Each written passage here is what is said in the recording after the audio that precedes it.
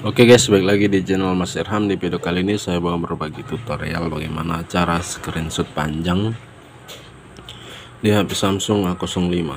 Oke, buat teman-teman yang belum tahu caranya, tonton video ini sampai habis, jangan di skip-skip biar kalian paham ya. Nah, caranya sama aja teman-teman seperti screenshot biasa ya pada umumnya. Nah, untuk perbedaannya teman-teman itu harus ada option yang bisa digeser ke bawah agar bisa di screenshot panjang nah contohnya seperti di menu pengaturan ya. Nah seperti ini. Nah ini kan bisa digeser ya teman-teman.